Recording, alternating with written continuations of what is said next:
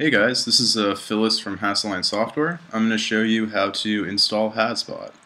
So basically the first thing we need to do is you need to download the installer from the uh, My Accounts page on our website. And then once you download that, uh, you'll have an installer file. So you just want to go ahead and double click that. And you can choose uh, the language you'd like, but I'd recommend keeping it in English.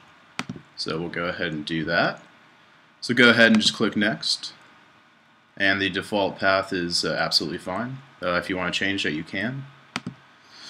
So we'll go ahead and click Next, and let's install it. And you'll have to say yes. So while this is installing, um, during the installation process, uh, once this is done, you're going to uh, be given the option to run Haasbot.